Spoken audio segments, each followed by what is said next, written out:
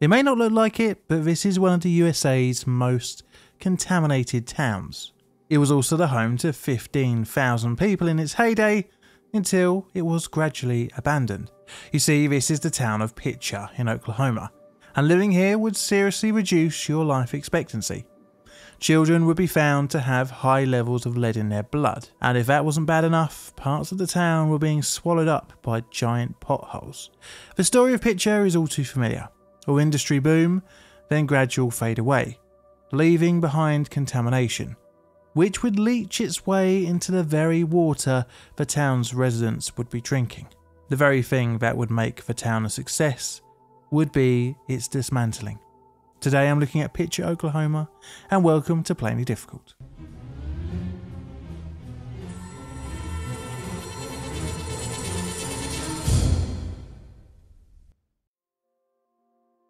A vital town. This is Picher, Oklahoma. Its story begins in 1913 with a discovery on a plot of land. What, you may ask? Well, it's this stuff lead. This metal was pretty important, and not just for the flashing on your roof. But it wasn't only lead, but also zinc that was found on Henry Crawfish's property. Within months, a new town basically just sprung up around the discovery. The new town took on the name of OS Picher, the owner of the Picher Lead Company, the organisation who was going to exploit the site. The same company also dug the community's first well. Newspapers reported rather excitedly that the town was born overnight. Picher was incorporated in 1918 in March and became Oklahoma's most northeastern incorporated city. Before incorporation, the mines around Picher found a very large financial boom from a European disagreement, also known as the First World War. Lead and zinc are apparently very vital in the killing machine. So, after its incorporation in 1918, the city would continue to grow, and by 1920, Picher had a population of just shy of 10,000 people, with a peak in population in 1926 of over 14,000 residents. Not only that, but in total, some 20,000 people would be working in and around the city, bringing in plenty of business for local outlets and, of course, fueling the mining operations. So the mining operations were subsurface, i.e., below the ground, and as such, they spread out underground, including under the city itself. The method of mining was a familiar subject on this channel. That was the room and pillar technique. This is where a room is excavated with pillars of rock to support its roof. It creates kind of a crisscross pattern, and it is a rather common method. However, the mines were prone to flooding, and as such, they needed constant pumping out of water. You see, the land was leased to the mining operations from the Quapaw tribe of Oklahoma, whom had originally owned the area. Part of the original lease agreements meant that each 40 acre tract had to have its own mining operation. In total, 248 mills operating in the area would continue up until the 1930s.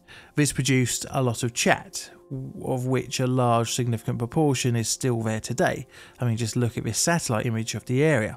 Chat is fragments of siliceous rock, limestone, and dolomite waste that was rejected during the lead zinc milling operations that accompanied the lead zinc mining. Piles mounted up all around Picher and in the wider Tar Creek area.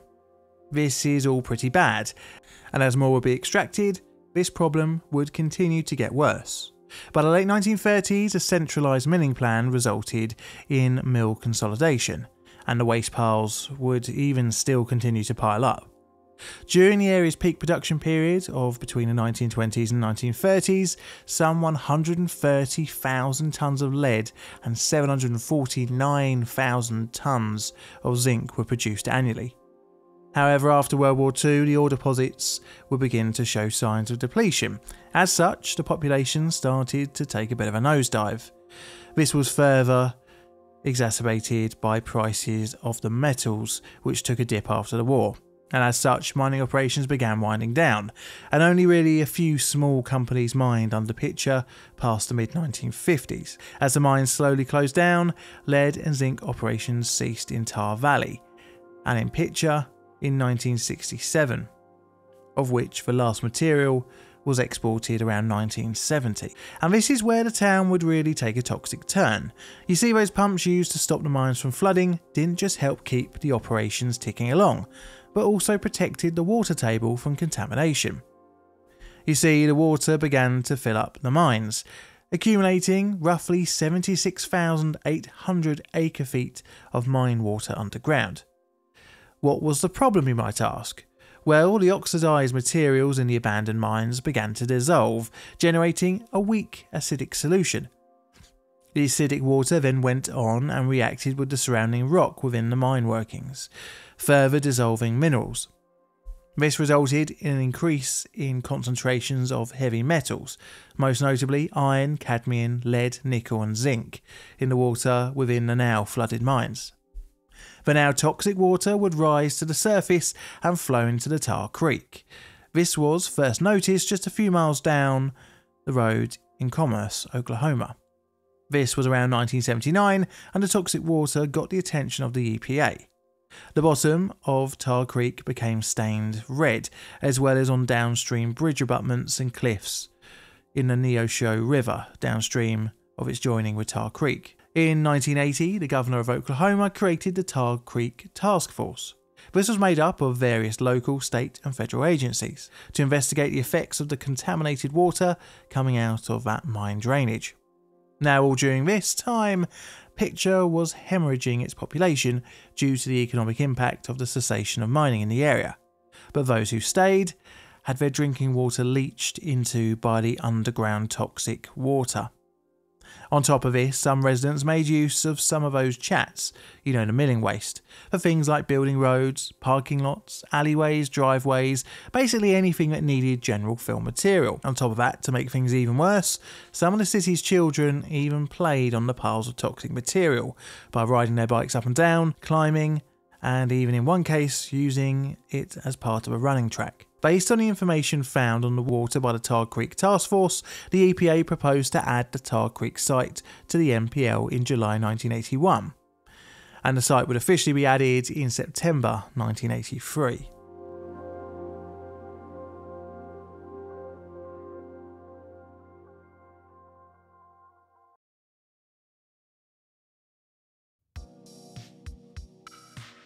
Enter the EPA. So the EPA originally got involved with the area due to the water issues around Tar Creek. However, residents in Picher continued to live their lives.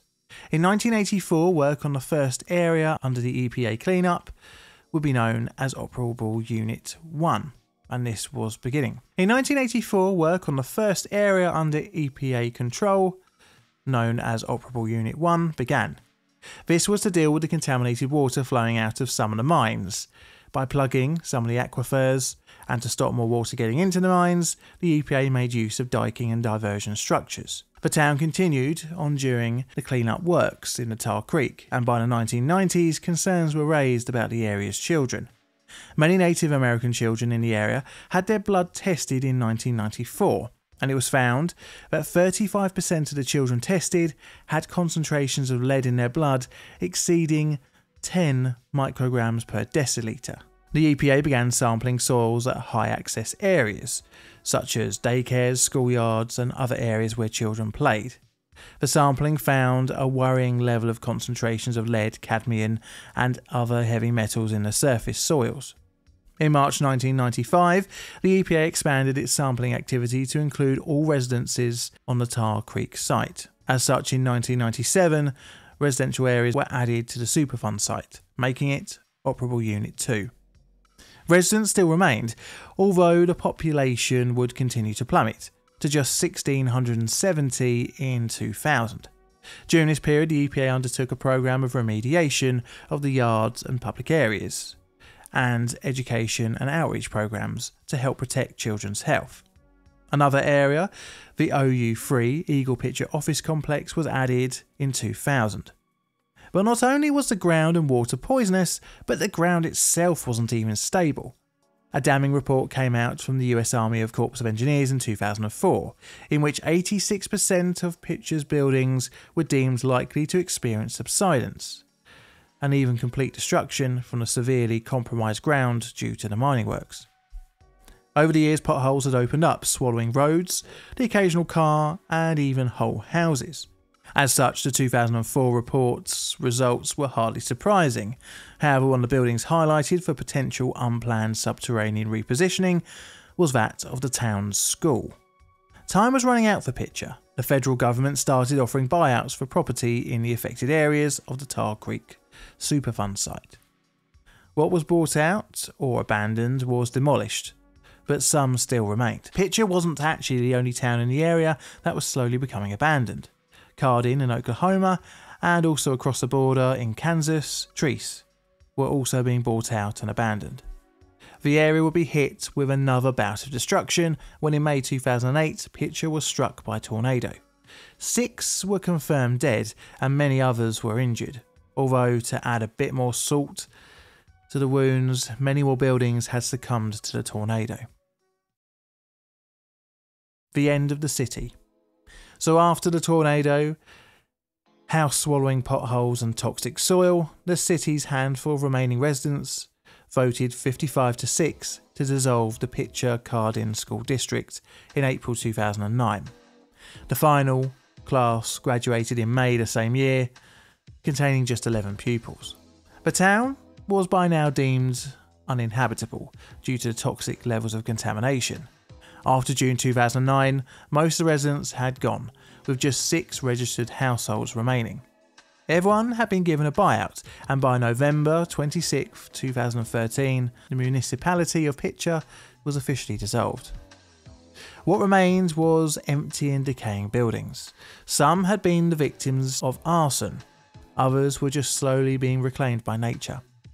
Cleanup operations on the site still continue today, with thousands of tons of toxic material needing to be dealt with. Living there was just too unsafe. With high levels of lead in the body, you can experience a number of nasty side effects, such as lifelong neurological problems, kidney failure, reproductive issues, and to make it even worse, children are more likely to absorb these contaminants and thus a higher likelihood of developing issues later on in life. Several expectant mothers took part in a study in the early 2000s that tracked neurodevelopment scores once their babies were two years old, and sadly, the results were much lower than average. Picher and Tar Creek is the story of ultimate irony. The industry that put the town on the map was the very same one that took it off. Now, would you like me to cover more other ghost towns? Let me know in the comments below.